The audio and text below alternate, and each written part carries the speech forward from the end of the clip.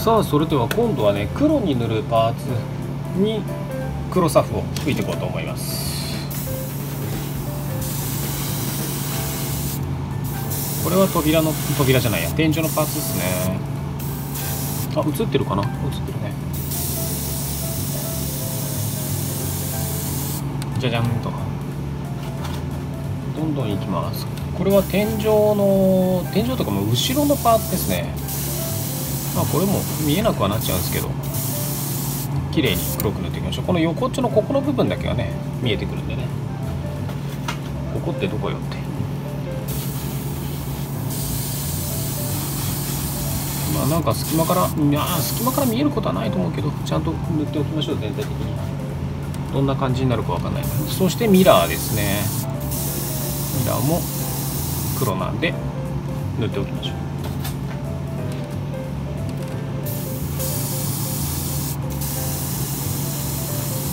OK ちゃっちゃかちゃという。そしてタイヤですね。BBS のタイヤ。いいね。かっけえね。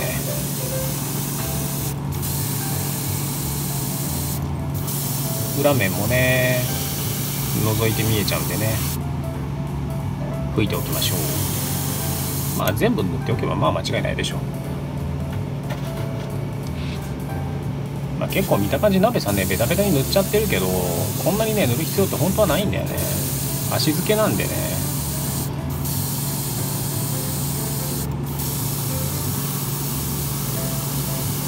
よし OK 適当適当。まあいつもだとここで動画を飛ばしてしまうんですけれども。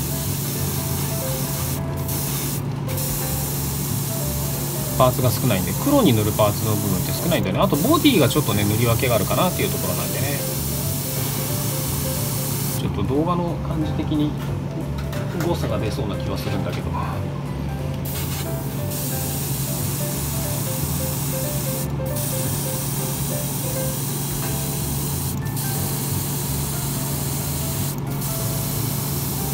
もうこの動画を流す頃にはもう塗っちゃってるかもしれない。なよし OK できたわけじゃちゃんと、まあ、ということでねでしっかり乾いたら今度ねちゃんと黒を入れていくので一旦カメラをここで止めさせてもらいやすと。さあ次は黒の塗装ですね。どんどんやっていきましょう。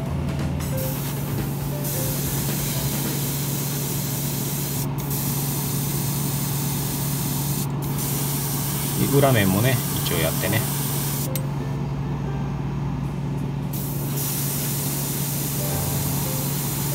大丈夫かな？いいかな？まあこれはねちょっとツヤが出るような感じでやった方が見栄えがいいかな。これはどうしようかトップコート1枚かけようかどうしようか今悩んでるところなんですけどね。本物を見たことがないからさその質感も分かんないんだよね。結構ホイールによって結構その艶やかなやつもあれば塗りっぱなしのような感じのやつもあったりしてそのねロードスターで使ってる BBS はどんな感じなのかなっていう。まあでもまだあと真ん中に BBS の、ね、デカールも貼ったりするから1枚トップコートかけておいた方がいいのかなその貼ってしっかり乾いた後。っていうことはちょっと思っています。よいしょ OK ミラーですね。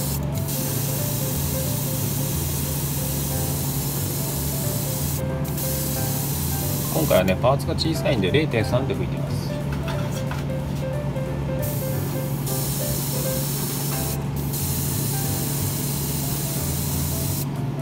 わがままを言えば0.2のエアブラシも欲しいなと思ったりするんだけどまあ現実味を見ると使わないんだろうなとか思ってね。たまに欲しいかなって思う時あるけどまあ0.3でなんとかなっちゃってるから。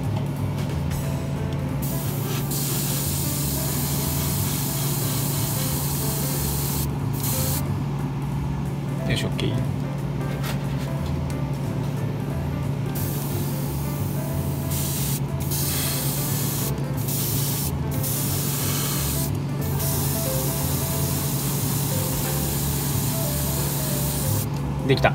よしということで黒の塗装が終わりました。では一旦カメラ止めさせてもらいます。さあそれでは続きをやっていきましょう。今度は塗り分け。ここですね。窓の部分ここのパーツっていう、うん、部分っていうのはセミグロスブラックなんでただここはね艶ありなんでもう先に塗ってしまいます。艶をね出した方がねいいと思うんでね。ではマスキングです。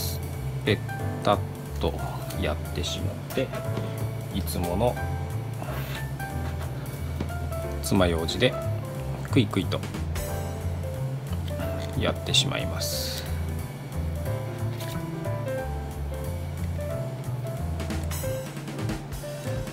でしっかり入ったならばカッターを入れていきましょう。カッターの先端もねよく切れるような状態にしておいて。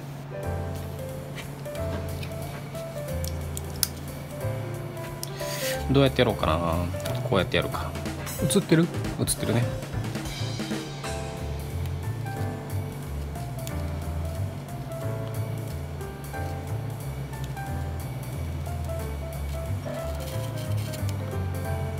でこっち側も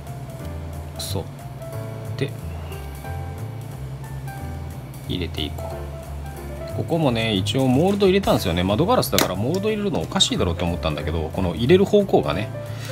まあだけどこうここをね塗り分けようって思ってたからこうしておいた方がね後々やりやすいだろうと思って。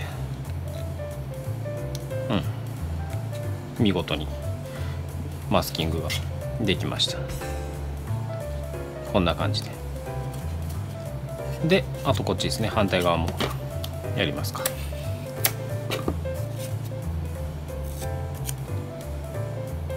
ペタッと。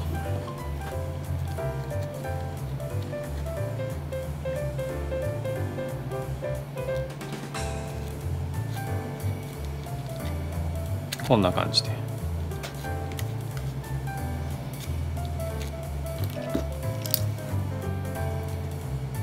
でここも溝に沿って。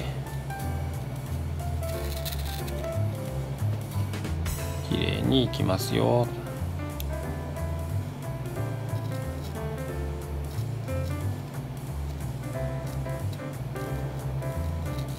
どりゃ。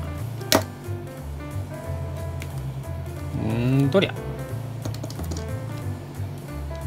おりゃ。おりゃとはいできた。でこうね内側に折り曲げて。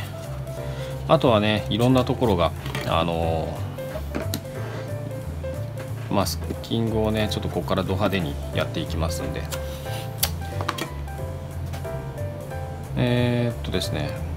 このまず裏側っていうのも吹き,、ま、吹き返しが入っちゃったりするとねとても残念なことになるんで裏側もねこういった感じでマスクをしておいた方がいいんではないかなと思います。こんな感じでね。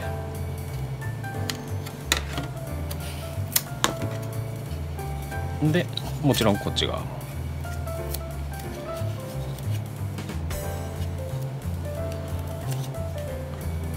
ちょっともうちょっと上にこんな感じか。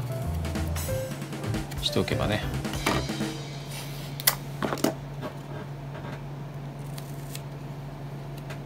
しっかり塞いであげよ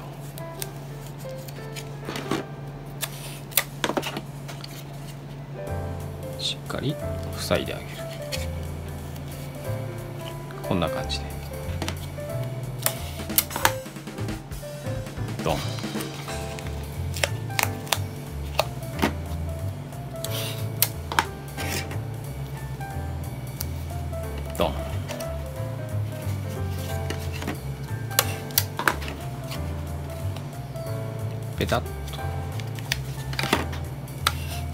まだねトップコートも何もしてない状態なんでね。あかかっちゃった。あの傷がつくうんぬんっていうのはその細からねないんで。もうあとこのかぶしきれないところっていうのはもうビニールでビニール袋とかサランラップとかそういったものを使ってマスキングしてもいいかなと思います、まあ、僕の場合はあのー、もう一気にこのテープでマスキングしちゃうんですけどね。あの、ビニール袋とかもそうなんですけど結構ねビニール袋の方がめんどくさい時あるんですよ。ビニール袋って結局ビニール袋もまた袋みたいな感じになってるからあの中でこうね、まあ、マスキングのね仕方にもよりますけどね。あの中で風がこう溜まっちゃって変なところについちゃったとかそういったことをねあの起こすこともあったりするんでちょっとね気をつけないとダメなんですよね。まあこれの場合いいとは思うけどまあ本当マスキングの仕方次第です。ちょっとつけすぎた。つけすぎたじゃない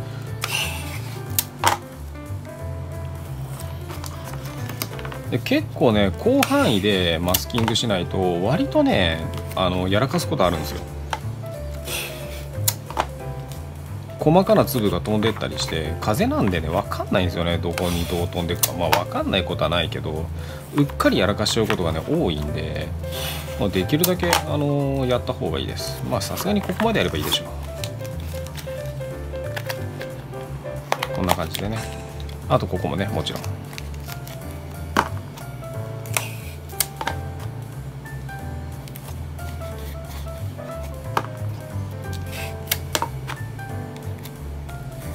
こんな感じで。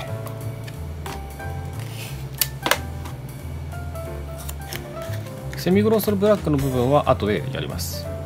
よし。では塗装していきましょう。さあそれではやっていきましょう。ここの部分ですね。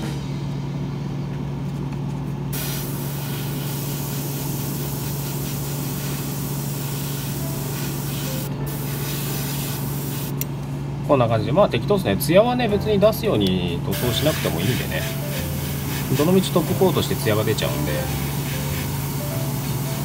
セミグロスをねだからこの時に塗っちゃってるとやっぱりセミグロスがね艶になってしまうんでね。やらないっていう感じです。まあこれだけのことです。よし。では剥がしていきましょう。さあそれでは剥がしていきましょう。長い派手にやったな。派手にやったけどやらないとね怖いんだよね。こうね見るともうやっぱりこの周りは結構つぶつぶが飛んでんだよね。ほんでこのつぶつぶが変なところについちゃうとね楽しいことになっちゃうからね。せっかくボディね綺麗に塗ったのにさあちゃちゃーっつってねなっちゃうんで。こう貼った順番をある程度覚えておかないといけない。まあ大体見ればわかるけど。いいよこいしょいと。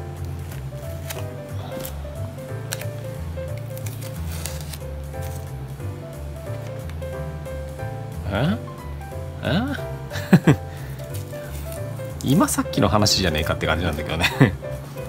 まあ撮影の加減だからね。その辺はあの皆さんには伝わらないと思うんですけど。そう今さっきの話なんですよ。貼ってまだなんだろう。20分も経ってないね。10分ぐらいしか経ってないね。裏面をね剥がさないといけなかったね。よいしょと。よっこいしょっと。いやいやと。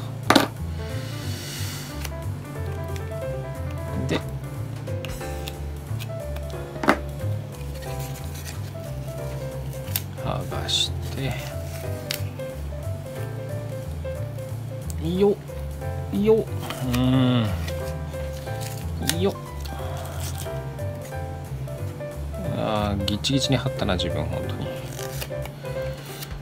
いいんだけどね。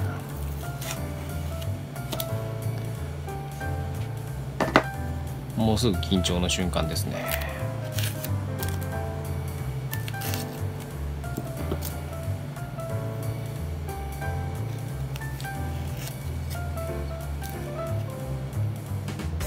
吹き返しも来てなさそうで。いいよあははは。良さそうですわ。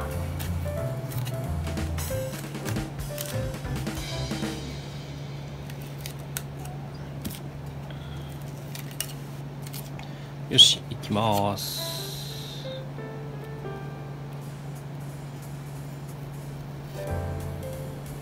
うん完璧。問題なす。いいね。カメラ映ってるかな？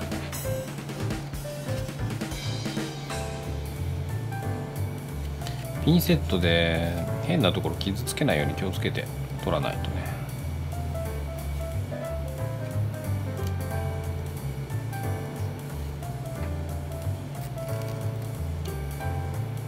よし OK できた。どうでしょうか。問題全くなし。よしということでちょっとねボディをねこっからねある程度ね組み立てたいところもあったりするんでちょっとねしっかり乾くまで待って一旦ここでカメラを止めさせてもらいます。